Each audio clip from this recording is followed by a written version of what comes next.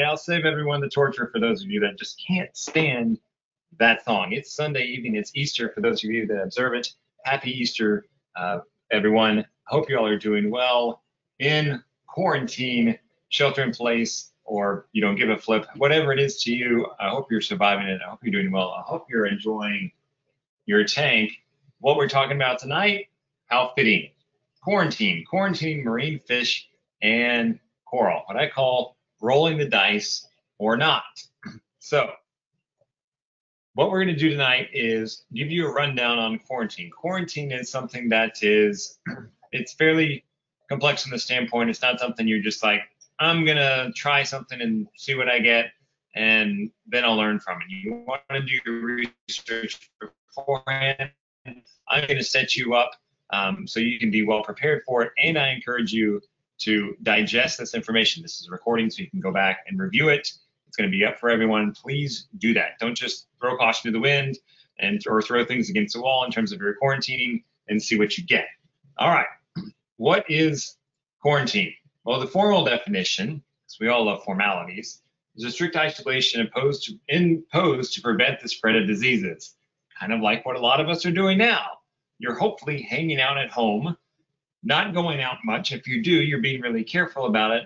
For the most part, you're in one place, you're not letting anyone in, you're not going out. You want to stay on lockdown to keep the disease, in our case right now, COVID 19, away. You don't want it to go in, and if you have it, you don't want it to get out, which is exactly what we're going to do for our saltwater, our saltwater fish and our saltwater coral. Here's the fun part of this talk. It starts off with me eating crow. Not literally because, you know, Ozzy did that, what, 30 years ago now or something? Um, I get to do this because, in the sense of the word of eating my own mistake or saying, you know what, I made a mistake. In 2012, I was in Southern California giving a talk at a trade show, and somebody asked me at the end during the Q&A session, they said, do you quarantine your fish? And I said, nah, never have never had a problem. Fast forward six weeks later, I'm setting up my 235 gallon tank and I've got fish in it, which I didn't quarantine because I've never had a problem. And marine velvet, if you don't know what that is, we'll talk about it tonight, gets into the tank and wipes out pretty much all but two of my fish, maybe three. $1,500 down the drain, a whole bunch of heartbreak, and to cap it all off, to put the icing on the cake, I got to go on YouTube in front of the whole wide world and say, I messed up. And that video has been viewed 79,000 times. Here's a hint not that much fun. I don't recommend it. Okay, now some of you are still saying what I said. This hasn't happened to me. Why should I even be concerned? Well, I look at it this way. It may not have happened to you. I hope it doesn't ever happen to you that you get a fish or coral disease in your tank. When it does, it is a very humbling experience. And if I always said it hasn't happened to me, why would I be concerned? Let's look at other areas in our life where if we said that, it just wouldn't make sense. Example, I've never been in a car wreck, ever, but I still wear a seatbelt. If I follow the it's never happened to me, why would I care mentality? Who needs a seatbelt? I've never been in a car wreck, but I still have insurance. If I follow the it's never happened to me, so I don't care about it, I wouldn't have car insurance. Here's the thing about car wrecks and quarantining your fish. If you're driving down the interstate at 80 because no one drives 65, um, and you go, you know what? I'm about to have a car wreck. Hang on. And you're going to pick up your phone. You're going to pick up your device because no one follows the law about not about hands free and go, hello, State Farm. I'd like to take out an insurance policy because I'm about to have a wreck. That's not how it goes. It's the same thing with quarantining. You don't know that it's coming. What you do is you want to prevent the risk, you want to manage that risk, set yourself up for success. So with quarantining, you're managing risk and then you're dealing with a problem in the terms of fish or coral disease if it happens in a controlled environment. Okay. If you're one of those people who says, it hasn't happened to me, who the flip cares? Best of luck everyone else who's interested in a different viewpoint, this is what I have to tell you about quarantine. Having been through it for many years, I used to quarantine fish for clients and then send them out if they didn't want to do it. So here's how I look at it this is how I approach it. First of all, first thing to know about quarantine is it's a contact sport. Rugby, one of those real sports out there. It is a contact sport. You have to watch your fish or your coral. You have to watch your water parameters. You have to touch the tank and then you have to write down notes. This isn't one of those things where you're like, oh, cool, new fish. It's in the quarantine tank. I'll worry about it in two weeks. Not how this goes, which isn't a bad thing. You got a new arrival, you're likely excited about it. I want you to be excited about it. You want to be spending a lot of time with it, getting to know it, and letting it getting to know you. Also, quarantine. It's strict isolation, meaning you keep things out of your tank. The two don't intermingle. If you have multiple quarantine tanks, the two tanks don't intermingle. Nothing is in once you start the quarantining process. So my quarantine process is 30 days for fish, 60 days for coral. I'll talk about that in a minute. Let's say you put a fish in May 1, and then a couple weeks goes by, you're on day 25 of your fish quarantine period, and you go, ooh, look at that fish. I'm going to buy that fish and bring him home and put in my quarantine tank. The moment you put that fish in the quarantine tank with the other fish that's been in there for 25 days, the clock resets. It has to be 30 days for the fish, 60 days for the coral, from 60 days of 30 and 60 days of nothing else going in the tank. All right, nothing goes in once you put the animals in the tank, and the clock starts from when the last animal went in. If you add a new animal in, it resets the clock. All right, let's talk about coral because pretty much everyone on these webinars is a reef junkie and you have a reef tank. And I'm willing to bet that you like your corals more than you like your fish. If not, that's okay. There's nothing wrong with that, but I'm willing to bet it's this way. The corals get us addicted. Fish people are like, those are cool. Maybe you have a prize fish or two, but you're still like, yeah, it's all about coral though. All right. Here's a nice Oregon Tort. Here's one that I'm sure you would love to have in your tank. This is a very happy, healthy coral. Good reason to coral, quarantine your coral is to make them look like that. It looks really good. I'm willing to bet that y'all would like that. And quarantine keeps crap like this is um, Bryopsis out of your tank. Get that junk out of there. Have a chance to catch it before it gets in. Same with other nuisance things like bubble algae. All right, you don't want these in. Let's talk about the three amigos. Three pests that you're most likely going to encounter and you want to quarantine against when you're quarantining your coral. First one, acropore eating flatworms, known as AEFW. Coral eating nudibranchs, that's Montipore eating nudibranchs and zoanthid eating nudibranchs. If you're a softy person, I'm sorry, but you're not immune to this. And then red bugs. All right, let's go through each of these so we understand them, because until we understand things, we don't know how to look out for them and handle them, treat them. Acropore eating flatworms, very, very small, nasty boogers. There's a dime, there's an acropore eating flatworm. Now note this about the slide. That's the animal on a white background. The only white background in your tank is either brand new dry rock or a bleached out coral skeleton. Easy to pick out these guys here. Note that they're very small. Now let's look at them in a real life setting because this is a real life reefing with Mr. Saltwater Tank. That's an acropore eating flatworm on a piece of acropora. Zoomed in. A lot with markers to show you where those buggers are. They blend right in. They are hard to spot. You're very likely not going to catch this with your naked eye. A bit of a magnifying glass is going to help you. If you see this on your tank, on your coral, on your acros, that means you have eating flatworms, and at that point, it's way down the line. Now, yes, this is easy to diagnose, but if you see this, look, you're into this probably at least 14 days, if not more. And if you look in this picture in that dark spot where the branches are, over there kind of down to the right, that is a big old bunch of egg clusters, which means you really got an acropore flatworm problem. The good thing about acropore flatworms are, unlike a lot of things in the saltwater aquarium world, we have data. We have actually data around these guys, so we know a fair amount about them thanks to hobbyists like you. A couple years ago, there's a Kickstarter called the Acropore Eating Flatworm Project some research got together. Hobbyists gave them money. They got their research started and it's still going on today. This is a great success story of hobbyists voting with their dollars, and then us getting a lot back for our money in the terms of data with these nasty creatures called acropore eating flatworms. So here's what the data says. This is not anecdotal stuff. This is real life, scientific, peer proven, peer reviewed data. The eggs take six to 16 days to hatch. It depends on temperature. You depend, so, but six to 16 days is the average. Juveniles can swim. Eh, how about that? Swim to other corals. And these guys can live up to nine days without a host. The host being acropora coral. So if you take all the acros out of your tank, those boogers can live up to nine days. All right. Now, why you don't want acropore eating flatworms in your tank, if you have them already, or if you've seen this in your tank, here's the thing.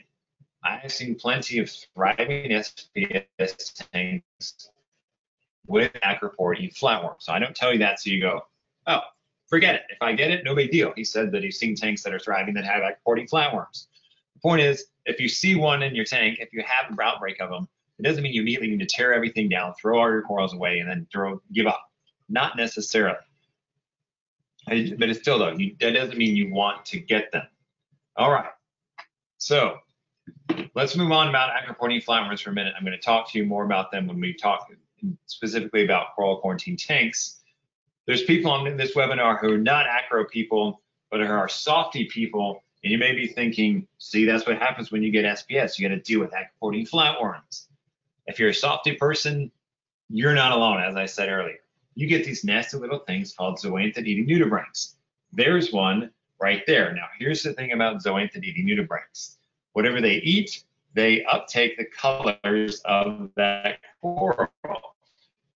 This looks like a bunch of eagle eye zoas. That zoanthid eating nudibranch um, doesn't look too far off uh, the eye zoanthids that they're eating. Therefore, they blend in. They are hard to notice, but here's the catch about this photo, why I put it in there. The easiest time to see them is at night and when the coral is closed up. Notice a lot of these zoas are closed up. If you want to check your coral for zoanthid nudibranchs, if you don't see them with your naked eye, touch the coral, get these zoas to close up, and then you can examine them. Here's another shot of one up close. They look like kind of fuzzy, woolly looking guys.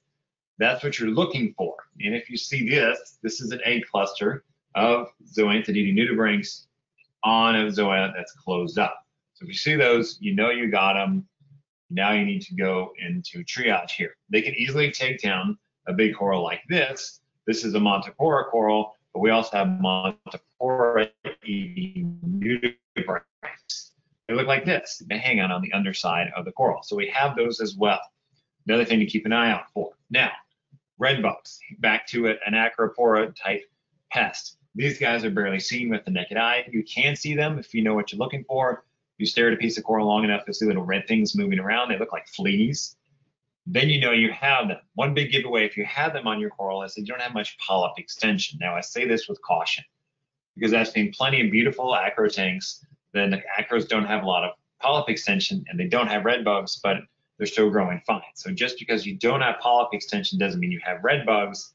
But if you think you do, and you don't have any polyp extension, then start looking for red bugs because it could be a giveaway.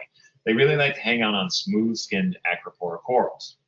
All right, so what do we do about most of these pests I talked about tonight? Dipping them does a lot of good, except when it comes down to the egg capsule. Now, what I'm going to recommend is whenever you put a coral into your tank or your or or your quarantine tank, you dip it. And while you're running your quarantine on your coral, you dip it multiple times. I'll talk about how much in a minute. So that's one type of prevention when it comes to coral quarantining is dipping. The other one is natural prevention. There's got to be natural predators for the stuff out on the reef, otherwise it would take over. And that's how nature exists. You have a pest and then you have a predator, everything lives in balance. Now, the Melanurus wrasse, this is a photo of one this is one that people used to like to keep in their tank. It's still done. I hear about it some. People feel like it is a pest eater. My experience with them is, and my experience with people who have had some of those acropore eating flatworms in their tanks is that these guys won't eat any flatworms or nudibranchs off the coral until you blow them off. You have to base them off, irrigate them off. Once they go flying in the water column, then these guys will eat them. All right. They're not going to eat the, the pest off the coral. You have to dislodge the pest from the coral. Then these guys may go after it. Now, back to the data about acropore eating flatworms. Because we have data about acropore eating flatworms, I just did an interview last week with a researcher on the paper.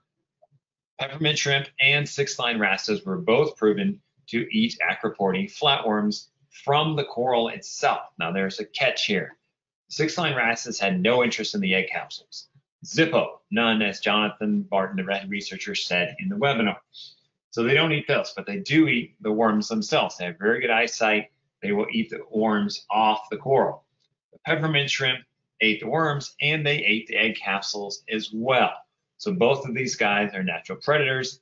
The catch with peppermint shrimp that I tell anyone is if you just put a couple in your tank, for example, this 100 gallon tank, nothing but peppermint shrimp in here to deal with acropore eating flatworms or aptasia, I would put at least 20 in there. You're not going to put two of them in your 100 gallon, 90, 120 gallon tank and get anything done. Now, six line wrasse, that's different. Those guys are very territorial. Very likely you're not going to be able to put more than one in your tank because they kill each other. All right. So your coral, coral quarantine tank, it's got to be completely separate from your display tank. It's not a frag tank plumbed into your system with a filter stock on the output of the coral tank. That's not quarantine. Remember what we said at the beginning of the hour. There's quarantine and it's completely separate. Keep everything away. Nothing gets in, nothing gets out. It's got to be separate from your display tank. It also needs to be a clone of your display tank. This is especially true with coral quarantine tanks. I can't stress this stuff enough. This also makes it a little bit more complicated than fish quarantine. You need to have reef capable lighting. Here's some big on the road experience I found with coral quarantine tanks. Match the same lighting that you have on your display tank. That means if you're running LEDs, run the same LED on your coral quarantine tank. If you're running T5s, run the same T5 setup. Not necessarily how many bulbs, but the same color, the temperatures of bulbs that you choose. So if you have a eight bulb setup on your big display, and you have a two bulb setup on your coral quarantine, match the bulb types that you run. Some people like to run blue plus, purple plus, uh, coral blue splasher, whatever it is. You want to match these things, make it the same. That way, when you take a coral out of quarantine and you put it in your display tank, the lighting is the same. There's no acclimating into the lighting. It's all the same thing. Also, water chemistry is important when it comes to coral quarantine. Another thing to do is to match your coral, your coral quarantine parameters to your display tank. I'm really talking about alkalinity. If you're on your display at a 9, 9 DKH alkalinity, do the same in your coral quarantine tank. Make the things the same so when it comes time to take things out, you can easily pull it out. Now, you may be taking coral from your display tank, putting it in your quarantine tank. If you want to treat it, again, it makes it easy to go either direction just remember if you're moving coral out of your quarantine tank, it's because it's at the end of a quarantine period and it passed, then you're putting it in. Flow is also key. We're dealing with corals. Again, it's got to be a clone of your display tank. Similar flow in your coral quarantine tank that you have in your display tank. You're probably going to need a dose. You're going to need to pay attention to water parameters, and you're very likely going to have to do water changes. Here's my experience with coral quarantine tanks, especially for SPS. It's trickier than running your display tank because it's very likely low nutrients. It's a smaller system, most likely. You're probably going to get parameter swings. So just keep that in mind. You want it to be a clone in every way that you possibly can. Now, let me put this in mind because people always mix this up. Say you have the Radion, Radion XR30 on your display tank. If you have a small 20 gallon coral quarantine tank, you don't have to put the same XR30 over that quarantine tank. An XR15 will do but it's the same light. You're to be running the same schedule, the same um, temperatures, all that you want to match. All right. In your coral quarantine tank, ideally no fish. Now I give, this is a little tricky for me, especially now with the data coming out of the acropore eating flatworm project with that six line wrasse that will eat acropore eating flatworms and probably other coral pests as well. I would probably put a six line in my coral quarantine tank knowing first that I fully quarantined it and I prophylactically treated it against diseases. I used to say that look, there's a chance that a piece of coral could carry in a fish disease. That's very likely very low. it's low enough for me that knowing the benefits of a six line in my coral quarantine tank, I would go ahead and run it. I'm going to have two to three peppermint shrimp. And if I have a bigger quarantine, coral quarantine tank, look, then I would have more. I'm going to be doing weekly dips. The coral is going to be coming out. I'm going to be dipping them. And while I'm dipping them, and then afterwards, I'm going to be inspecting them with a magnifying glass. I'm looking in nooks and crannies for any coral pests. If it's zoanthids, I'm touching the zoas so they close up so I can look for nudibranchs. I'm irrigating it. I'm blasting the coral with the dip water while the dip is going on. And then everything is held in the coral quarantine tank for 60 days. It doesn't get out of there until it's past my 60 day coral quarantine period. Don't be in a rush. And when you rush things, if a pest gets through, it's a much bigger problem than the time it's going to take you to stock up your tank. Now, that doesn't mean that you need to put one coral in your quarantine tank, nothing else, and then it goes through the quarantine period, and then you get to put another coral in your quarantine tank. You can have multiple corals in there. You can have multiple coral types. That's fine. For example, here's a cool little quarantine tank that I ran across on my travels. It's got a light on there. This is an Orphek light, fully capable reef light. He's got water change setups on this thing. He's got flow going on in there. You can see the water blowing around. He's got a zoanthid spread out on racks. He does dips on this. It's a fun little quarantine tank. It's only about 20 gallons.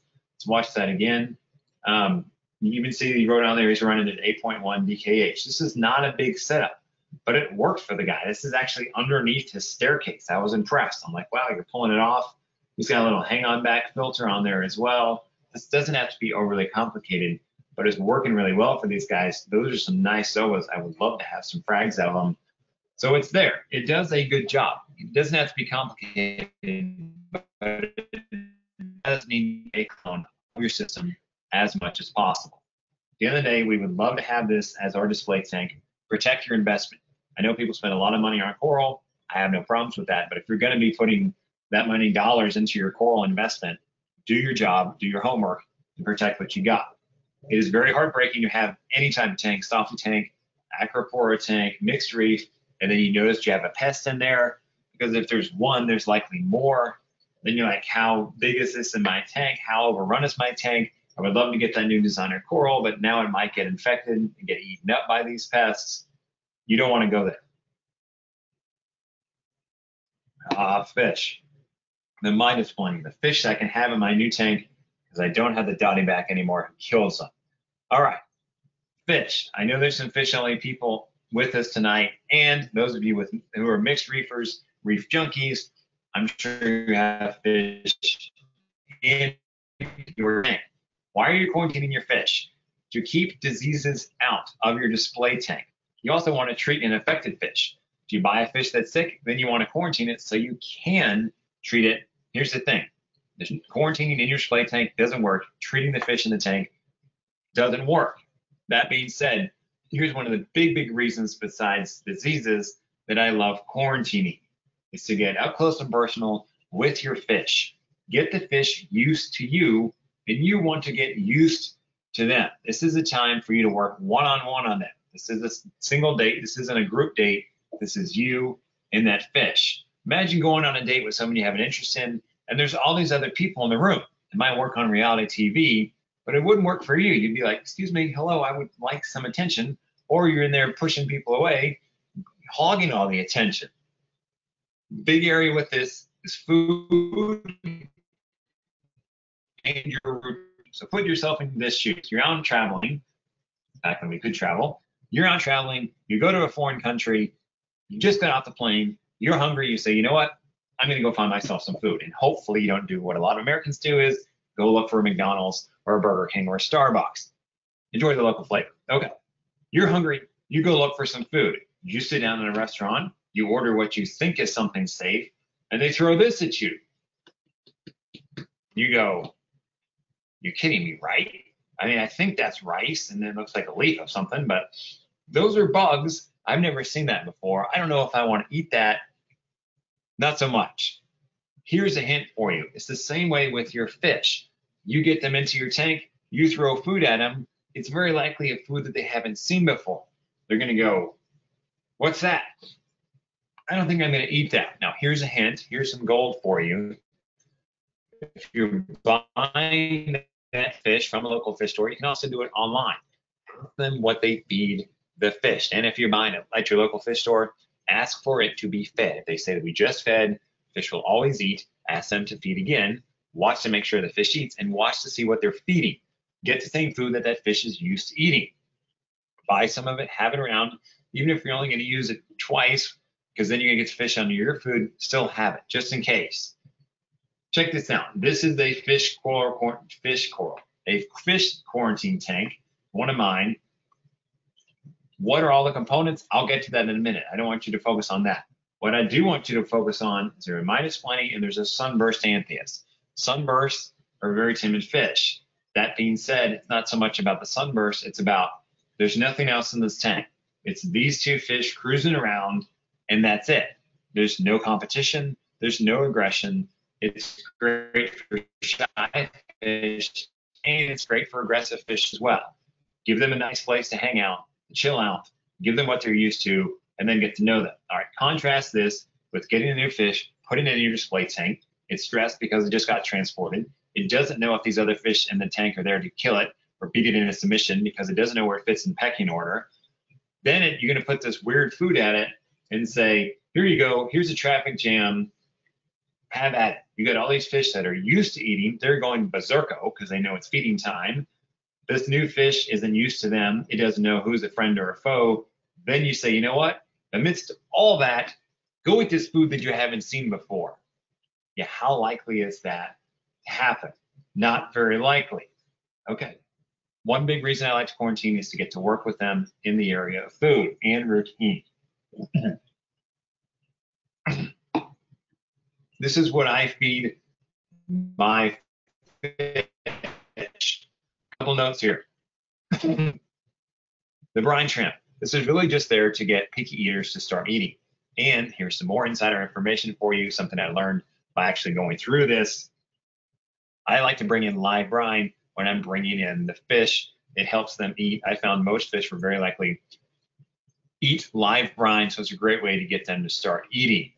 Now, I buy a lot of my fish from places that can, that condition them for me, so already eating. But if you're buying fish from a wholesaler, you're buying it from a local fish store, I like to have live brine around. Uh, at least have frozen around.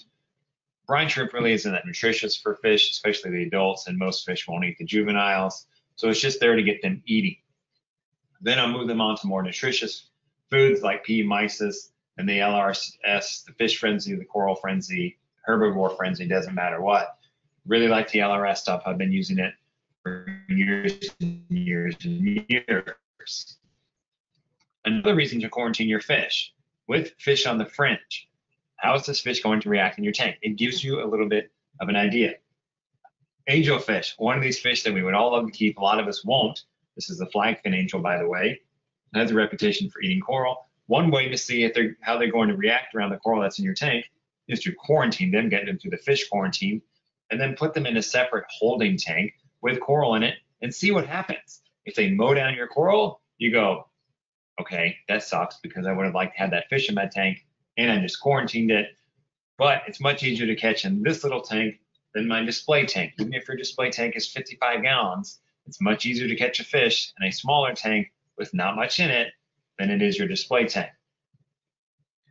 Also with other fish on the fringe, triggerfish, maybe they're gonna eat your, your shrimp. Only way to find that out is to put them in a tank with a shrimp and see what happens. Any fish is an investment. Certainly what you have in your tank is that you put a lot into the tank and what's in there is a big investment. Taking a little bit of time to see how these guys react in a quarantine tank will be much worth it. And even small fish are an investment. It's another great time to work with them to get them to eat and to see if they are going to eat. For example, this mandarin here. Some of these guys will eat frozen food, but you're not going to know that if you throw them in your busy display tank with all that traffic and go, let's see if this guy's going to eat, especially with the mandarin. They're very picky. They're very likely not going to eat. But in quarantine, you can see what they'll eat if they'll eat anything that's prepared, and then you get them used to it. So when you go put them in the traffic jam, they're like, oh, this is food. I've seen this. I'm hungry. I'm going to eat. All right, protect your investment,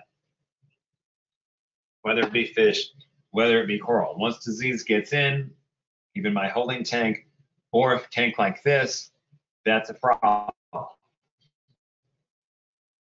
So let's talk a bit about fish disease because it's a huge area that I see lots of hobbyists make big mistakes. A huge reason to quarantine is to keep disease out. Now, this is a golden basslet. This fish has ick. Um, we'll talk about that in a minute. Again, the three amigos. There's three big usual suspects that you're most likely going to encounter when it comes to fish disease.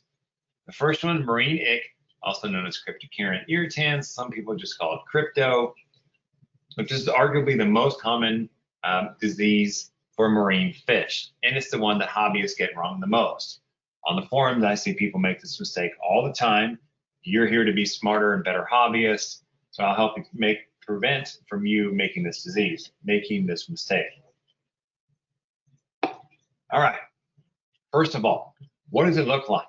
It looks like these little pinhead dots all over fish. This fish has a pretty bad outbreak of it. Here's the thing about ick. Sometimes a fish gets a little bit of sand on it or dust type of things on it. If the fish has ick, it's not going to be there in the morning and then gone by midday. So don't get caught up on that. It's tricked me a couple times. I'm like, oh, it's got ick. But no, it's just a piece of something blowing around your tank that happened to stick to the fish. So it's all over their eyes. It can be on their eyes, on their body, on their fins. This is what ick looks like. Here's the part where a lot of people get wrong. Here's the life cycle. This is what's important one of the key important parts about the life cycle. It's it is a parasite. It lives off a host. It needs a host to live. So when it's on the fish itself, it's called a trophont, and it's on that fish for three to seven days. Then it falls off the fish as it's part of a natural life cycle. It didn't fall off the fish because it died. It fell off because that's part of what it does. And then it falls and it encysts on somewhere in your tank whether it be a rock, sand, side of your tank, a filter. It goes and encysts, and then when it's in there, it starts reproducing. And then once it's done reproducing, the cyst breaks, all the little swimmers fly out, and then they start looking for a fish to latch onto. The free swimming stage lasts from 24 to 48 hours. So then it goes back out looking for another host, it latches onto your fish, and this whole process starts over again. What people mess up is they go, hey, my fish has ick, and then the next day a lot of it or all of it is gone and they go, the fish is cured. I didn't do anything. Or worse, they go, I fed garlic and that cured my fish. The fish isn't cured. The disease is still in your tank. It's just going through your life cycle. So keep this in mind. If you see someone making this mistake, please correct them. Don't make it yourself. If your fish has it one day and doesn't have it the next, that doesn't mean it's cured. It means the disease is in your tank reproducing to go right after that fish. Now, fish can develop immunity to ick, and there's evidence of fish carrying the disease and not showing any symptoms, kind of like COVID-19. People can carry it and they never know. So just because the fish looks healthy and has never had it doesn't mean that it doesn't have it. Hence, another reason to quarantine. We'll talk about prophylactically treating in a minute. All right, marine velvet, the silent killer. This is what I got in my tank, my 225, my 235 that knock down all these fish. The one I call the silent killer, nicknamed Velvet or Oodinium. It is a very, very effective killer. If you have fish that are there one day and then gone the next, Velvet is the first thing that's on my mind. It happened to me. It happened to a client of mine fairly recently who didn't quarantine. He had all these fish, and then the next day we're just falling like flies. Like three were gone, two were gone. Then the next day one was gone, but then the next day after that four were gone. They're just falling nowhere. And the really heartbreaking thing about velvet is you very likely don't see it on the fish. The fish is just dead. It's just gone. You're like, what the heck? He was eating, now he's gone. Here's a really heartbreaker thing about velvet. This is my maroon clownfish with very much infected with marine velvet. What does it look like? It looks like the fish got hit with powdered sugar. It looks bigger, like pinheads. Velvet looks like it got hit with powdered sugar. Very, very fine. Usually you don't see it on the fish. If you do see it, like I did, in a way you're lucky because then you know what the fish has. You're not scratching your head going, wonder why all these fish are dying. If you see it, you know you have it. The really heartbreaking, the heartbreaker, the really, really, really, this is the third time I've said it, thing about velvet is if you see it on the fish, it's very, very, very likely too late. The fish is going to die. There's nothing you can do the best thing you can do is go, okay, now I know what I have. Then I can do it. The life cycle of velvet is very similar to ick, but check this out. The parasitic stage can be as little as 12 hours. It is a very effective killer. Why? Because it moves much quicker than it. Things fall off after as little as 12 hours. Then they encyst in as little as two days. Then they're back out there again looking for stuff. So it can take down fish very quickly. You're probably not going to see it. Now, if you're watching all this going, what do we do about it? I'm going to get to you that. Hang on, you got to know what you're looking for first before you can diagnose it and treat it. Brooklynella, also known brook or clownfish disease, it's very common with clowns, especially wild caught. These days, there's very little wild caught clownfish coming in. I don't see it very often anymore, but here's what it looks like so you know. This guy looks like he has white patches on him or his skin is sloughing off. It's very different looking than marine velvet. This guy doesn't look like he has marine velvet to me because they're fairly uniform patches here. Velvet looks very different. The fish is going to be swimming around like this if it has velvet. If it had that much velvet on it, it would be on the bottom dying like my clownfish. Brook looks like this, so you know. All right, so the big ones, marine ick, marine velvet, Brooklynella. That's what you need to mainly keep an eye out for. There are other ones, but look, these are the big ones you're going to see by a huge margin. So we got to know why we're quarantined. We've talked about that. We got to know what we're looking for. We talked about that. Now we have to talk about how to quarantine your tank. You're going to need a tank to do it and no, your display tank is not a quarantine tank. A tank tied into your display tank, like this one, there's a little pipe there draining from the sump into this tank. This is not a quarantine tank. This is a holding tank, but it's not a quarantine tank. Simply putting another tank into your system is not quarantine. Disease can get from this tank into your display tank because it's all plumbed together. So it's completely separate from your display tank. We talked about that at the beginning. That's part of what quarantine is. The Thing is, you don't have to have a huge tank. The catch here is if you have big animals. 20 gallon high works great. I've used those for years. If you have a fish larger than four inches, or a fish like a yellow tang, anything other than a bristletooth tang, those fish like to swim around. Like a 55 gallon is great. A 40 gallon breeder is a nice intermediate sized tank. This is a 40 gallon breeder. It's only three feet long. It's 18 inches front to back, and I think it's 18 inches tall. Doesn't take up a lot of space. It has my stripies in there. Just remember those guys. And a cleaner wrasse in there as well. Now, what are all the components? I'm going to walk you through it. Here's another quarantine tank. It's got a couple things. Let's walk through PVC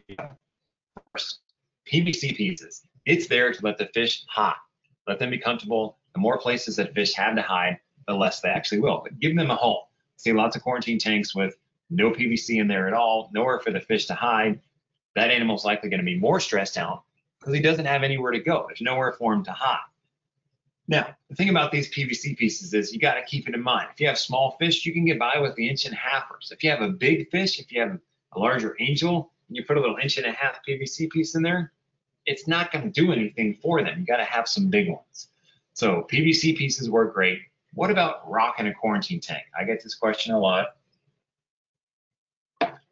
We know about ick and velvet that part of their life cycle is to fall off the fish and encyst on something. And some people would say rock just harbor diseases. It's a give and take for me. Personally, PVC pieces work great. So I don't feel the need for rock. If I had rock in my quarantine tank, once the tank was treated, I would go ahead and treat the disease, uh, treat the tank with the medication. That rock would stay in that tank forever. It's my quarantine rock. Personally, PVC is just easier to sterilize it's easier to break down because yes, you can do that. I'll talk about that in a minute. It works really great for me. Just keep the size in mind. Okay, next thing, filtration. These little hang on back penguin filters work great. There's not much to them. You can get them anywhere. And you can easily add media to them like carbon if you need to run it. So the thing is, those things don't provide a lot of biological. We'll talk about that in a minute.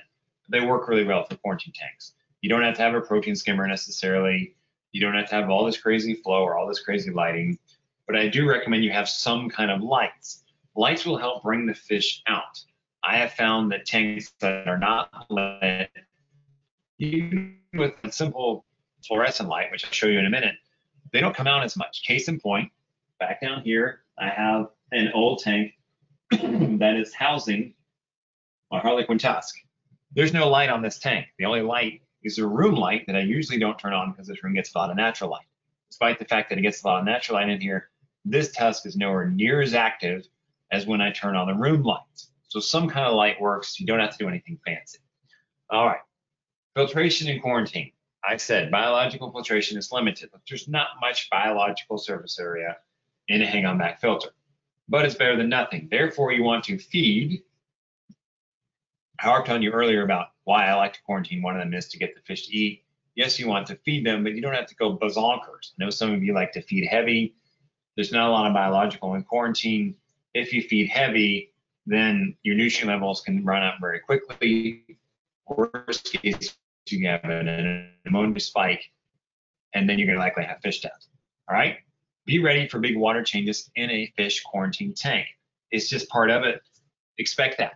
As I said earlier, quarantine is a contact sport. Okay, what about the bottom of the tank?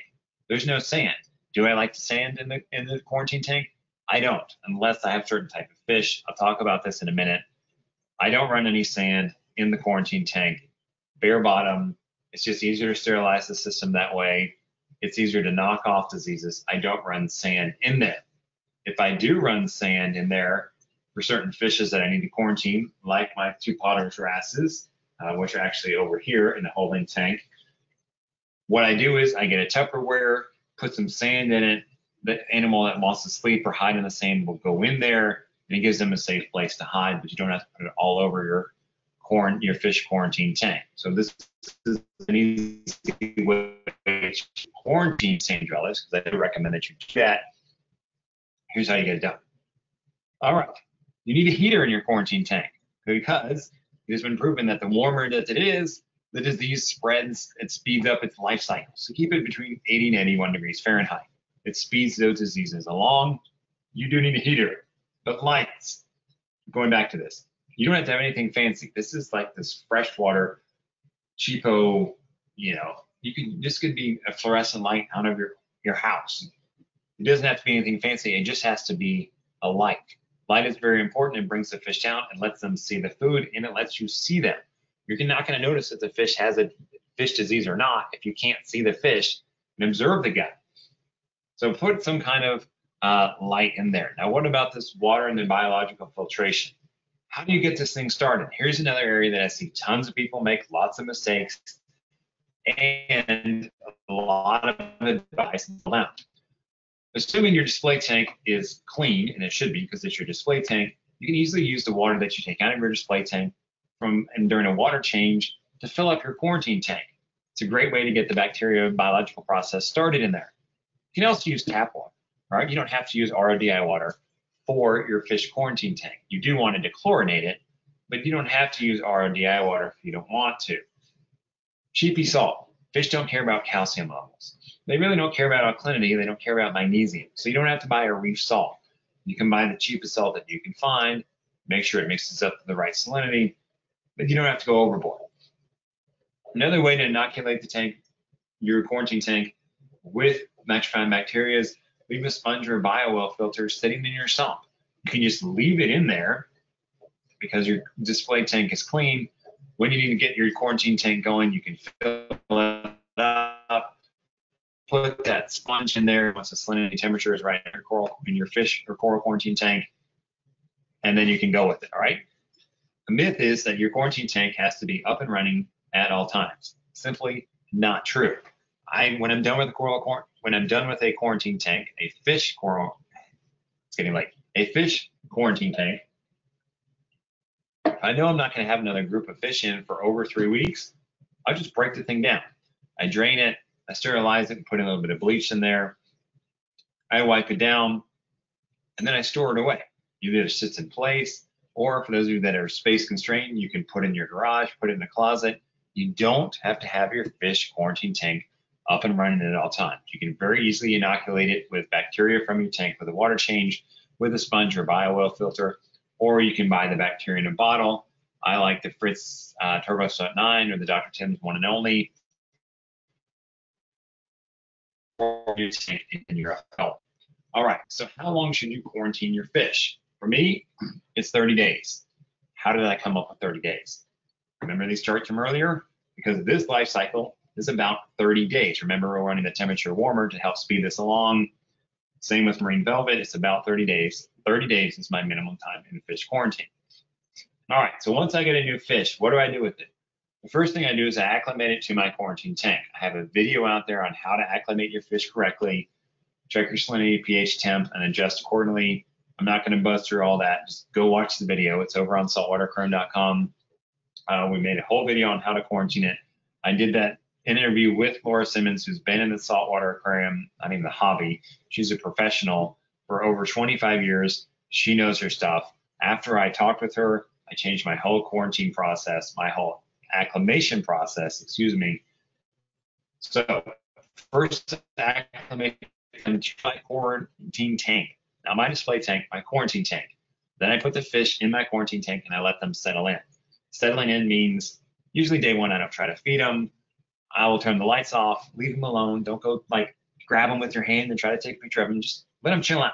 They've had a long journey, even if they just come from your local fish store. They got chased with a net, put in a bag, drove in a car, and then put in this new tank. Let them hang out. Then I want them to start eating. Once they are eating, then I will freshwater dip the fish. I'll talk about that in just a minute, how to do that. I like to freshwater dip the fish. Then you have a decision to make. Do you want to prophylactically treat these fish or not? What is prophylactically treating? It means treating the fish against a disease even if they don't show any signs. So how do you decide if you want to do this? Really has to do with how much risk are you willing to take. Because as I said earlier, there are documented cases of fish carrying ick and not showing any signs. So just because you don't see it doesn't mean that it's not there prophylactically treating, when I prophylactically treat fish, I'm running them through copper. I'll talk about that in a minute because I really want to do with marine velvet and I really want to do with ick. So do you do it or not? If you want to give your fish the best foot forward, I like to do it. You want to just this protect your display tank as much as possible. Then I do it. So personally, it's always a given for me. And then after they're treated, I observe them. Once they're done with their medication, treatment time, I sit back and I observe the fish. Are they acting all right? Are they eating? Are they putting on weight? Do they not have any of the diseases? You want to do that. All right. How let's go through freshwater dips. The thing about freshwater dips are they're harder than you when you do it correctly. They're harder on you than they are on the fish. Because you're taking the saltwater fish and putting it in what seems like toxic freshwater. And you're like, come on, baby. Come on, let's go, let's go you do it right though, it's actually very easy on the fish. Match the temperature between the freshwater dip and your quarantine tank. Match the pH between the freshwater tank, freshwater dip, and your quarantine tank. Match those two things and then put the fish in the bucket or whatever you're dipping them in. I like to put an air stone down in that freshwater bucket and then start your timer. I like to do it for 10 minutes, no less than five, no more than 15. Here's where the fun part and the hard part for you is. You have to sit there and just watch. And ideally, a fish that's happy in a freshwater dip, if it lays on its side, that's okay. I mean, it's just chilling out. Most of the time, our fish swim around our tank, but when you're freshwater dipping and the fish lays down, you're going to freak out. You're going to be like, oh my gosh, what am I doing? This is the dumbest thing ever. I want to abort. Don't. If the fish is freaking out and trying to jump out of there, that's the problem. If the fish is just laying down, that's fine set your timer for 10 minutes, hold what you got, let them get through the dip, and then put them back in the quarantine tank where they came from. All right. What about ick and marine velvet? Both of those, copper is my medication of choice. Seachem cupramine is what I use. I've had very good success with this medication. I ramp it up slowly. Here's part of my catch with cupramine. First day, it tells you to put in half the recommended dose. I put in half of the half. I start slow. Put a little bit of medication. Later in the afternoon, if I put it in the morning, then that afternoon, I check to see where it is. Very likely, I'm not going to get any reading on the test on the copper test. That's okay.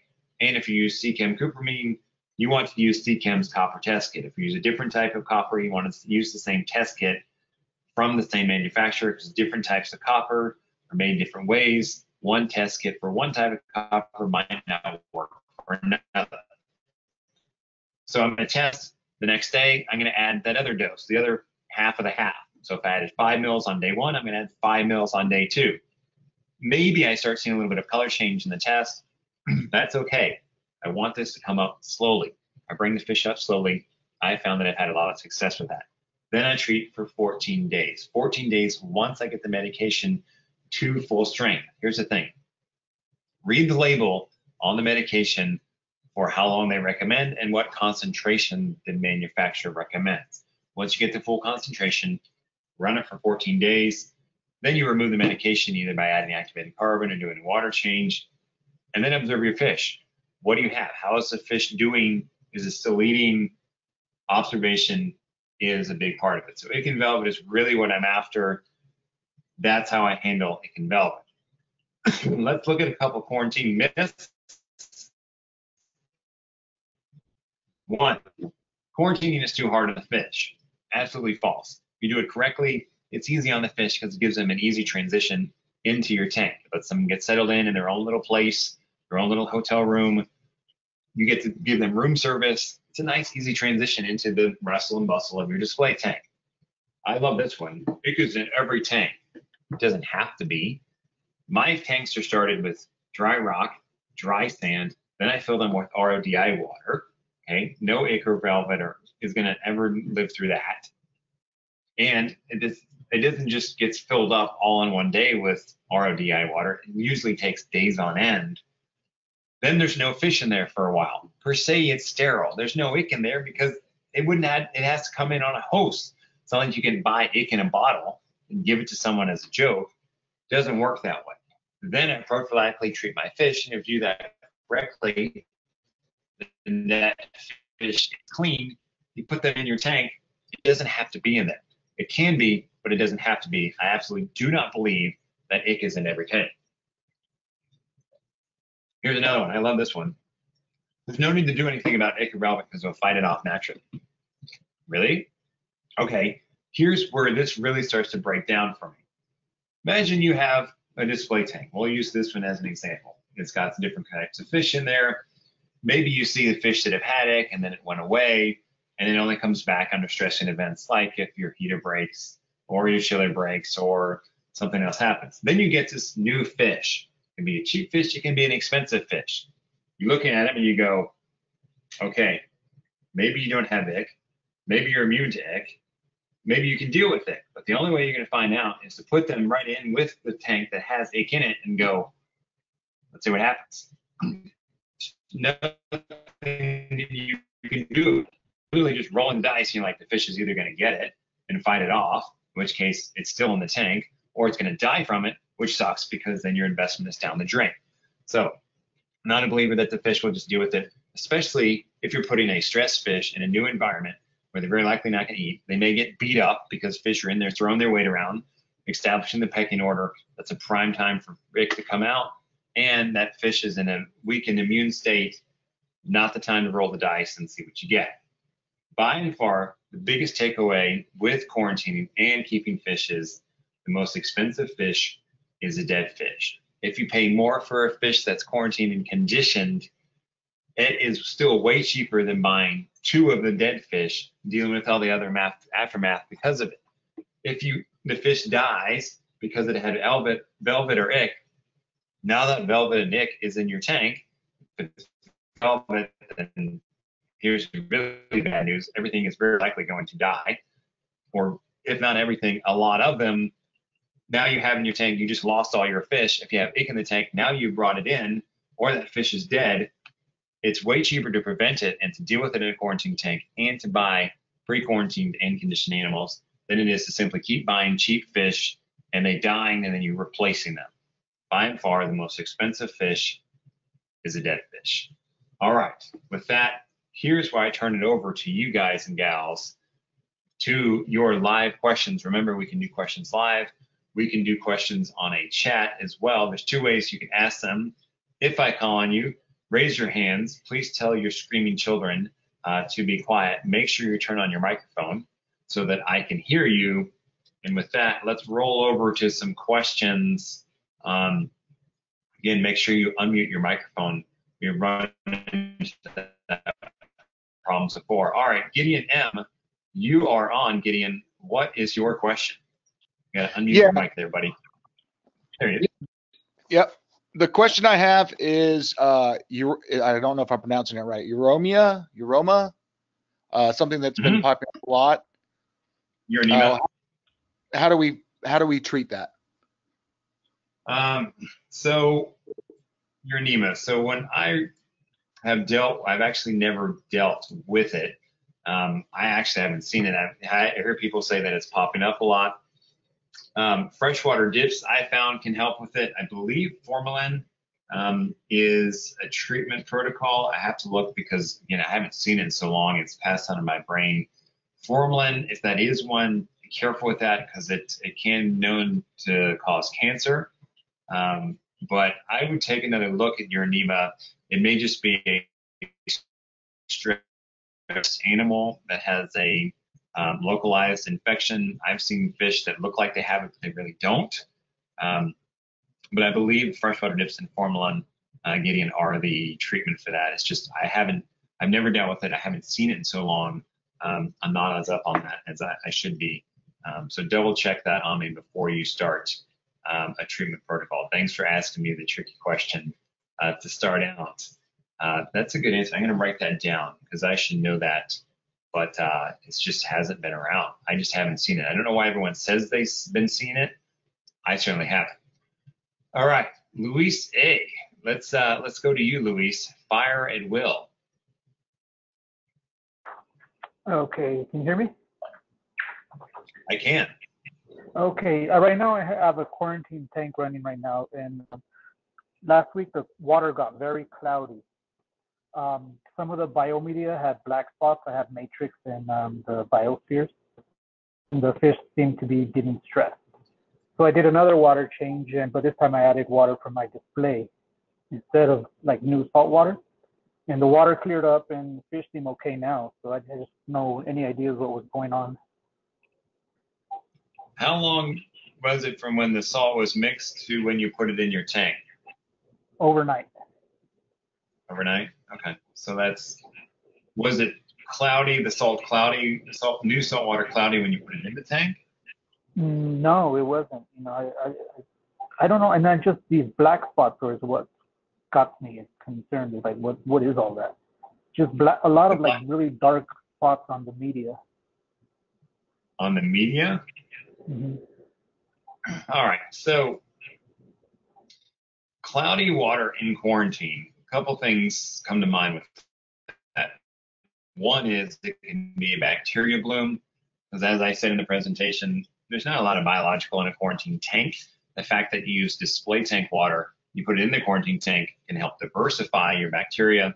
So you may have done a water change, stirred some stuff up, um, also maybe you knock down some biological, and then all of a sudden we have nutrients in a tank that doesn't have a lot of place for a biofilter. So that could have done it. So if you're having more success than you're not having cloudy water by using your display tank water, I would keep using your display tank water.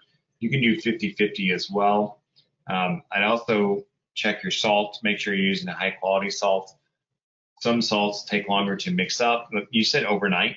That's a good amount of time to mix up your salt um, before you use it. But uh, it sounds like a bacteria bloom to me. Uh, that's what jumps out at me with that kind of cloudy water. Now, what's the black spots on the media? Um, I, you know, there's black spot ick. I don't think it's that. I wouldn't think that it's that. Certainly, if you did a water change with new salt water and all of a sudden it showed up, that may just be areas of um, potentially death of your biofilter. Um, so you can easily take that media out and rinse it off, see if it falls off. You said you had success with the display tank water change. I would keep going down that route. Great question. All right, Brandon S. Let's go to Brandon. We'll take some text questions after this. How about it, Brandon? Unmute yourself. There he is. Oh, can you hear me? I can. Uh, this was about your, uh, it was about the freshwater dip, and you say you you uh um you know you match the pH and stuff. What are you talking about? I mean, how you raising the pH? Are you just dripping water in there Uh, with a pH buffer. or with a pH buffer? Okay, so you're just adding a pH buffer into it. Okay. Right. Now, the, the trick to that, Brandon, is it doesn't take very much to do it. Like it, it may like a quarter of a teaspoon may be all you need. A lot of- a lot of times when I first started doing freshwater dips, I would put in the teaspoon that it recommended, and then the pH was sky high. So it doesn't take very much to do it. It's much easier to raise it than it is to uh, lower it. So that's how I do it. I also make sure I use a pH probe. Uh, I don't use a pH test kit. In fact, when I used to do it, um, I would just take my pH probe out of my Apex, out of my display tank, and put it down in that freshwater dip because I was too lazy. Um, so I don't use the test kits, but you raise it with a pH uh, buffer solution. Okay. I, I yeah, I watched your video um, earlier. You just you mentioned that lady. Um, I think it was in Australia, and I kind of had the same question when she was talking about it too. And I'm like, and I was like, oh, so I'm I'm glad I got to ask. Thank you very much. Yeah, let me bring this up. Um, yeah, it's you can get it anywhere. A lot of uh, um, freshwater stores um, will do it, will sell it. So it's a pretty easy uh, product fine. All right, Brandon, thanks for your question. Let me Thank bring you. this show up for here we go. So here's the show that I did. I will make sure we share this in the link of the video. Um, I sat down with Laura Simmons there at Cairns Marine. Um, lots of eye candy there by the well. By the way, um, I sat down with her and did a talk. There's Laura uh, about how to acclimate your fish. What I just do whatever she says in terms of feeding, in terms of fish acclimation. Once I talked to her, I went out and bought the, the salinity checker and the pH tester, and I follow this to a T every single time, whether it's fish, whether it's coral, whether it's inverts. You want to know how I do it, watch the video and do what she says. And they have, like I said, lots of nice, happy, healthy, well-fed fish uh, there in the background. It was a great experience. Learned a lot from that one. That's how I do it. All right, let's go. Let's ahead text, text question for you all. Um, let's see here. Let's see, inverts. I always get this question. Dana wants to know about inverts. Do you need to quarantine inverts? He said he had a velvet outbreak. Sucks for you, buddy. Year and a half ago. Now I quarantine for every, everything for 60 days. So do you quarantine inverts? All right, great question. Because we know that marine velvet and ick, they fall off the fish and they have to encyst on something and hermit crabs and snails have a hard shell. Yes, the disease could encyst, could fall and encyst on a shell of a quarantine of a hermit crab or a snail. Yes, it can happen. And encysting on an exoskeleton of a shrimp, not very likely. Not going to happen on a live coral either. The coral would likely digest it. It's a pretty small chance that that would happen. It can happen. So do I quarantine my inverts? I don't because here's why. I buy them from a place that keeps the inverts separate from fish. I've walked into plenty of local fish stores, even some wholesalers, and they have their corn, their fish holding system tied into their invert system, in which case a fish disease could get in with the inverts. I was buying from there, yes, I would quarantine them.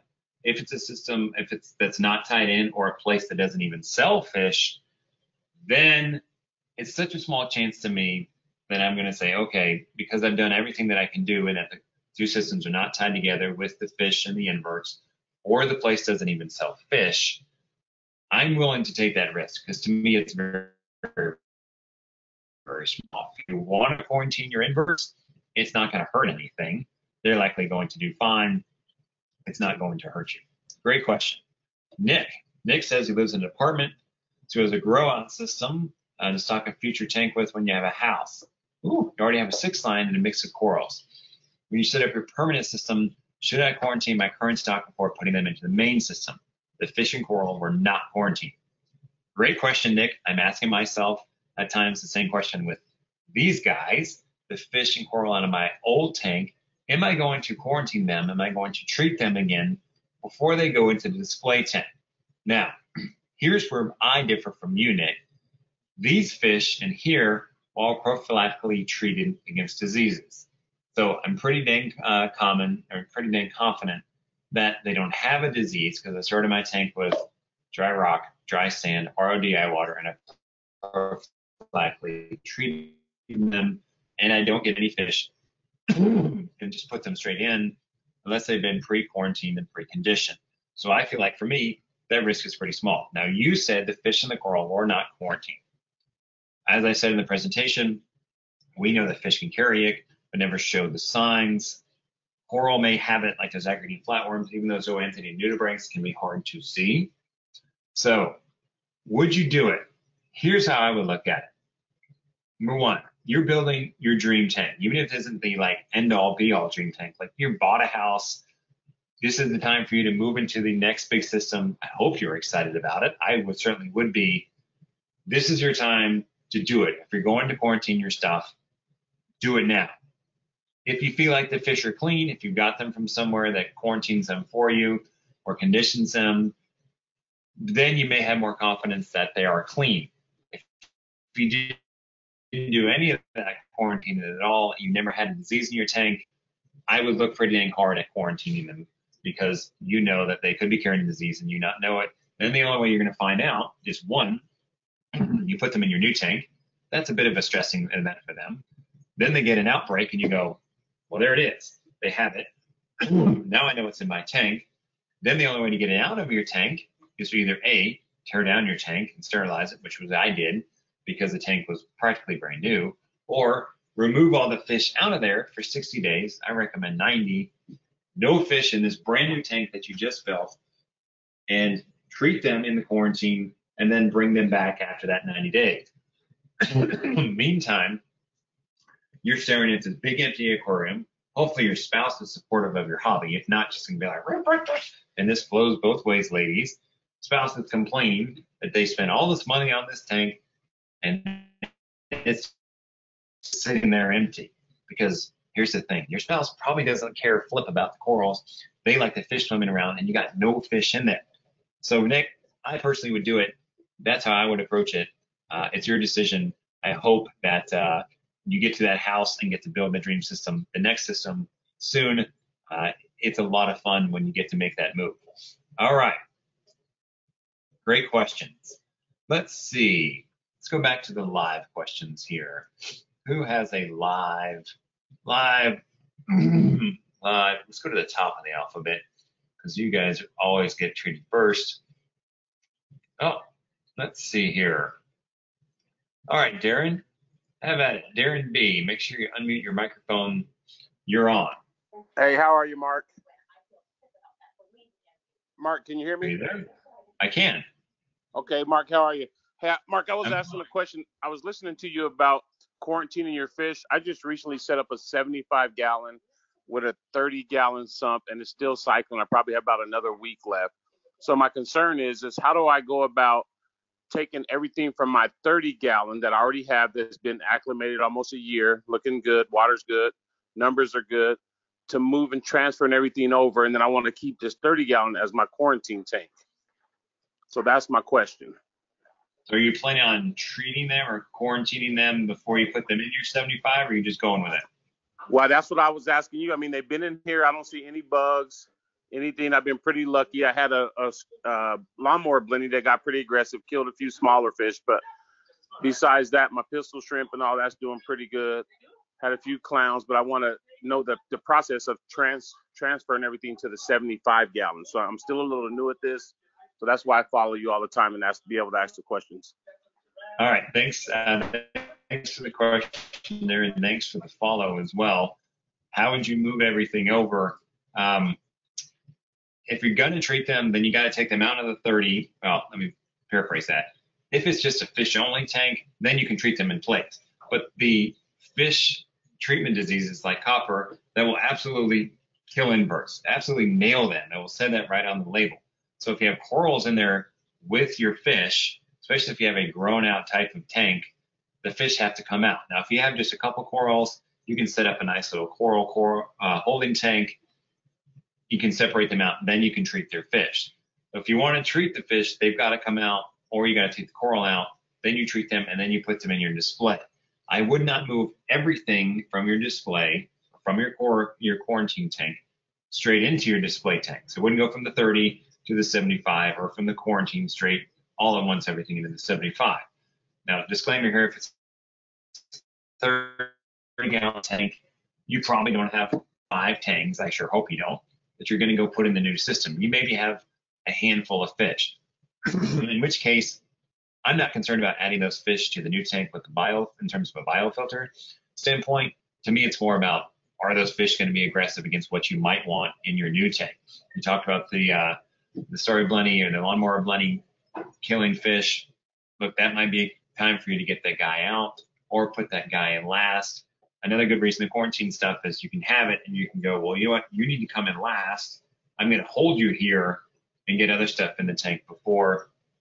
It's going to depend on uh, what you have and then if you want to um, quarantine them before you put them into your tank. Again, that's you got to make that a call, just like uh, the guy asked earlier. If you want to do that, they've been clean. You may be okay rolling the dice. Uh, that's something I can't answer for you. Personally, for me, it's just not worth the risk because I've been through Velvet. I've watched it happen to me. I've watched the clients who didn't heed my advice. It's heartbreaking. It's not a lot of fun. Once it happens to you once, you will not want to do it again. All right, Marty. Marty R. Have at it, Marty. Make sure. There you go. Are you with us, Marty? Oh, you're unmuted, but I can't hear you, Marty. Oh, all right, Marty. Why don't you uh, write your question in the chat window since uh, I can't uh, hear you here. All right, let's see. How are we doing here? Ah, we'll go this. We'll do two more lives and we'll switch over some more uh, chats. All right, Robert Y. You are you're live, Robert. There you go. Unmute your mic. Have at it. Hey, Mark. How you doing tonight? I've Well, got how are you, the, sir? Pretty good, pretty good. I'm major question tonight is the size of the quarantine tank. I've got a 30 gallon nano and I was planning on a five gallon or two five gallon quarantine tanks to kind of double up on getting the fish in there quicker, but Okay. still trying to get a bang for the buck. Um, I was actually looking at the Fluval Evo all-in-one saltwater five gallon system. Okay. Good, good deal, and to try to, I don't know, like I said, just get the livestock in there quicker, but also do a full quarantine process. And once I get some fish in, then also switch over to maybe one for coral, one for livestock fish. Thoughts? So what size for a little 30 gallon uh, nano for quarantine? So the thing about five gallons, Robert, is it's yeah, you have a 30 gallon tank. The fish that I would put in a five gallon tank, maybe that zebra blenny that we talked about in the first session, not a lot. I would not put a lot of fish in there. It's just going to be easier for you to go get a 20 gallon, uh, at least a 10 gallon, like a 20 gallon high, because you're going to have a hang on back filter that doesn't cost you a lot of money. It's not very big and it works well for that tank. It fits on there. There's a good lid kit with it. There's a light kit for it. It's just going to be easier for you in the long run. Understand your tank is 30 and your quarantine is 20. You're just going to get a lot of mileage out of it, and it's not going to cost you much at all. The price between a five gallon tank and a 20 gallon tank is really negligible. So I wouldn't go too small on that, even though you're going to have a small tank. Um, I would still give yourself some space. The fish are certainly not going to complain about having extra space. And in terms of keeping water parameters, like a 20 gallon tank is four times the size of a five. Just make your uh, just make your life easy. All right, safety stop. All right, Jeff has a question about safety stop. What are my thoughts on it? What does it do? All right, let's see if we can pull this up. In case you all don't know, oh, that's not going to be it. That's too broad of a, there we go. All right, here we go. This safety stop stuff. What is this for those of you that don't know? So this is a two-part fish dip so to speak. Uh, it's got methylene blue on it. I think malachite green are the two um, parts of this. So what's my take on it? Is it better than nothing? Probably. I'm still going to quarantine. Am I going to use this instead of quarantine? No. Am I going to put my fish through this if I have quarantined them? No, because what this might take care of in a two hour dip, I think it's 45 minutes each, so an hour and a half dip, you're going to handle that during quarantine as opposed to this. So if you're going to do nothing, which I don't recommend, at least do this. If you're doing a full quarantine, I'm not going to do this. Um, does it actually do anything? I haven't seen any data on it. Um, it seems like a good idea. I certainly don't think that it is a rapid fish quarantine. Quarantine your fish. It's worth it to you. That's what I think about. All right. Great question, Jeff. Thanks for that. Let's see. Where do I buy my uh, inverts from? Do I trust them? All right. So I get my inverts from a couple places, Dana. Uh, Reef Cleaners, reefcleaners.org. I think he's still around. Should be. he's down in Florida. Aha. These guys don't sell fish. So there's no fish kept with the inverts. Very small chance that they have it. I also will buy inverts from Live Aquaria Divers Den, not just Live Aquaria, from the Divers Den. That's another place uh, where I get them. I have some wholesalers that I know keep them separate. I can buy from wholesalers because I have, um, you know, this is what I do for the business. The rest of the world can't. Um, so those are the places, but Reef Cleaners really takes care of most of the needs. What I can't fill with Reef Cleaners, uh, I fill over at Live Aquaria Divers Den. All right. So let's see here. Oh, I love this question because I've tested it. Where did it go? Is it true? Tony wants to know. Is it true that you can't use um, a copper tank for display tank ever again? Absolutely not true, Tony. I have done this. I wrote about it in my quarantine book. I took a five gallon tank of all things. I put sand in it, I put rock in it, and then I nuked it with copper. I put like four times the recommended amount that you recommend that you dose fish with. There's no fish in there. I just ran the thing high up with copper, left it for a couple weeks with the idea that the sand or the rock would soak up the copper. then I removed the copper with a water change in with Cuprosorb, that's Seachem's copper absorbing media. Then I put coral in there. I put some zoanthids in there and they did just fine. So you can use rock and sand that has been coppered. It's not like the copper gets into the seals on the tank and then it's hosed. I've heard that one too. You do have to remove the copper with a copper absorbing agent like cupramine. Now that being said, when I go in copper my display tank, no if it has inverts because they're all going to die. But if I knew that it had large fish and I was putting rock in there that I was hoping going to use in my display tank, if I had no other option, then I might treat that rock and then put it in. The most part though, if I'm putting rock in my quarantine tank, I'm just leaving it in there because I'm not going to be moving rock back and forth between my display tank uh, and my quarantine tank. Maybe some small rubble pieces like this you might put in your sump. Use that to inoculate things, um, but you're not going to take your big pieces of rock out of there for uh, between your quarantine tank and your uh, DT. All right. Sam wants to know a couple good sources for pre-quarantine uh, conditioned fish. And then what process would you follow before adding these to your display tank? All right, two places I get them. One is Live Aquaria Divers Den, not regular Live Aquaria. You have to buy them over here from the Divers Den.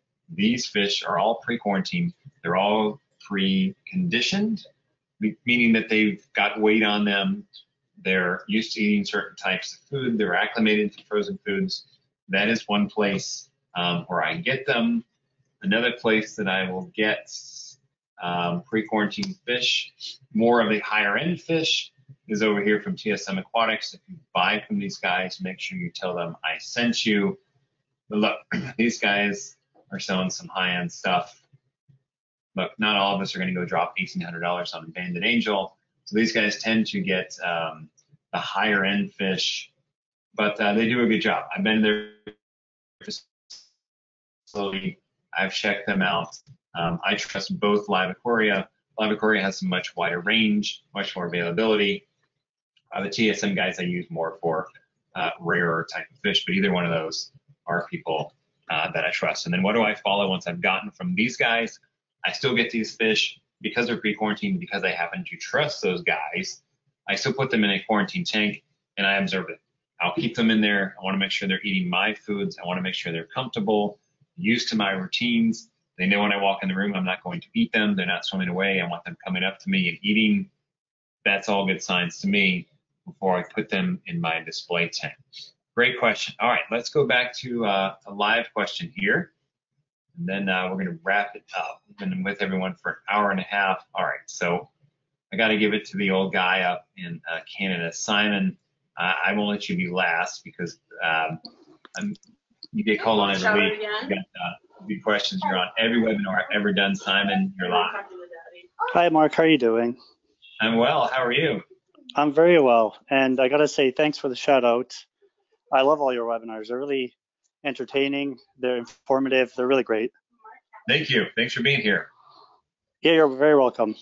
So my question is actually, um, you talked about doing large water changes during quarantine period. Uh, mm-hmm. What parameters would spur you on to do a large water change? And if you have to do a large water change halfway through running copper, let's say, do you have to pre-medicate the the fresh water going in, or do you just dump the new salt water in and then medicate the water? Because cupramine cannot drop, otherwise it's not therapeutic, and the fish can get you know reinfected. Right. So when I go to do a water change, what would make me do a water change is if my really my nitrates are getting above 20 parts per million. Fish really don't care about nitrates. 20 is a good threshold for me. If you see any ammonia over 0.2 uh, ppm, then I'm going to do a water change. Remember that if you're doing an ammonia test and it's 0.25, it likely just means that there's so little amount that there's some ammonia there, but all the test it can do is tell you the reading for 0.25. If it's anything above that, then I'm going to want to do an immediate water change. Now, if I'm prophylactically treating the tank with if you do a water change, then you're knocking down the medication level, the concentration. You want to keep it um, at the recommended level, which I believe is 0.5 um, for that 14 days. So how would I do that? You can pre-medicate the water. That's fine. That's an easy way to do it because then you have control over it put some copper in. In that case, like you don't have to pre, you don't have to ramp up slowly on pre-medicating the incoming salt water because there's no fish in it. Um, I would get it to the right amount, put in how much you think you need, a little less because it's easier to add more than it is to take it out. Then do your water change. Now, if you do your water change with, per say, fresh salt water where there's no cupramine in there, as soon as that new salt water is in there, I'm immediately adding medication, trying to get it back up Look, if the, if the concentration is low for a couple hours, like five hours, I'm not concerned about it. I'm more concerned if it's, you know, 12 hours, 24 hours type of things. Easiest way for you to do it though is to simply medicate uh, the new water that's coming in. You've got no fish in there. You've got a lot of room for error. It's not going to cause a problem. And if you overdo it, then you just add in some more fresh salt water. You do a larger water change, which will help with your your uh, nutrient uh, your nutrient issue. That's why you're hopefully doing a water change. All right, let's take one last question here, and then we'll wrap it up for the evening. Oh, Jose. All right, Jose. You just went away. Where'd you go, Jose? I think he, oh, I think he just gave up. I just called him and he ran away. Kind of like my whole dating experience in high school. All right, so let's go into a couple text questions here. PraziPro. Ed wants to know about PraziPro for quarantine. Great question, Ed. Do I use Prazi? I haven't in the past. Um, I'm looking at doing it mainly with you know internal parasites type of things. I would probably start doing that as I'm starting to quarantine new fish uh, for the next tank. I didn't do it in the past, but yeah, I would start doing that now I'm still only going to do it once the fish is eating. I want to get the fish into the quarantine tank. I want to get them eating for a couple days. Then I'm going to start exposing them to medication. Great question, Ed. All right, let's see here.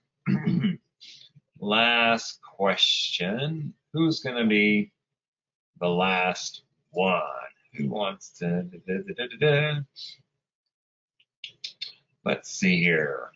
Is there any fish that I would not treat with quarantine, or excuse me, I would not treat with cupramine? Great question, Douglas. All right.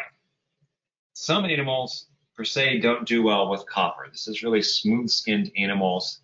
If you're putting a shark in your tank, which I really hope that you're not, um, I'm very likely not appropriate. I'm not going to put the animal through cupramine. I'm not going to put an eel through cupramine. I'm not going to put a stingray through cupramine. That being said, I really hope you're not putting a shark or a stingray in your aquarium.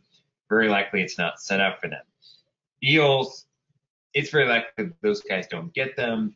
So I'm not as worried about the eel bringing in a disease. Then it's more of a concern about something, the disease coming in with the water. So then if I was bringing in the eel, I would acclimate them. I would still quarantine them in the sense that I'm going to want them to eat, make sure they're comfortable, I'm then going to put them in a bucket, acclimate them to my tank, and try to get the eel out with as very little water from the bucket into my display tank. Um, other fish that I would not treat with cupramine. I have treated a lot of fish, including mandarins and sensitive wrasses, potter's wrasses, which are in there asleep in the sand bed. They went through two weeks of cupramine. And I had great success with it, Christopher, because I ramped up very, very slowly five day period to get my cupramine up to the recommended concentration. I'm okay with it taking a while. If the fish stops eating or start acting stressed, then I pull the medication, but I want to go slow. The only time I've had issues with cupramine or copper is when I dosed too fast. Great question. All right, Timothy wants to know about the tank transfer method. What is it? How does it work? All right, Tim. For those of you that don't know, tank transfer method involves having one or more, two or more uh, quarantine tanks. You put the fish in here. I believe it's every day, every two days max. Then you transfer the fish to the other tank, which is completely sterile. Sterilize your old tank that it was in, and then you transfer it back. So the idea is that the disease falls off the fish because that's part of its life cycle, like you learned about earlier. Then you're sterilizing the tank. The disease has no chance to encyst and then hatch and then go back after the fish. So eventually, the fish has shed all of the parasite as part of its natural life cycle. What do I think about it? All right, Tim. One, it's time intensive. And, and per se, it's equipment intensive. You got to have two tanks, at least two, have the same equipment. You got to be willing to sterilize them. And by the way, drying them out or filling them up with fresh water is not counting as sterilization. Adding bleach is how I sterilize things. You can put half a cup in 10 gallons, and that will absolutely sterilize the tank you have to be willing to do that every other day at the bare minimum. That takes a fair amount of effort. And it also puts the fish through some amount of stress. Hopefully you're not netting the animal if you're doing that because that can knock down their slime coat. You want to catch them in a smaller container. That way you don't have to touch them. I've had more success uh, with, given the success that I've had with cupramine, I go that route. I, the tank transfer method can work. It's been proven to work. It's a lot of effort on you. It's a lot of effort on the fish the people who are like, I don't even know if I want to quarantine, tank transfer method uh, isn't going to be for you, but it can work. Great question, Tim. All right. Thanks everyone for being with us tonight. It is 10 o'clock. We've been together for an hour and a half. Thanks for giving me your time. Thanks for staying safe. I hope everyone is doing well on your quarantine period. Absolutely, quarantining your fishing coral is worth it. We want to have a great experience with the tanks. Take the time, do it, do it right. Make sure you watch the video over here with Laura about how to acclimate your fish into your quarantine tank or from your quarantine tank into your display tank. Learn how to do it. It's easy thing to do. And it's a lot of fun to watch animals knowing you're giving them the best leg forward by quarantining them and by acclimating them. Thanks everyone for being with me. I will catch you next week for the final session next Sunday, 8:30 p.m. Central. We will be back. Have a great night.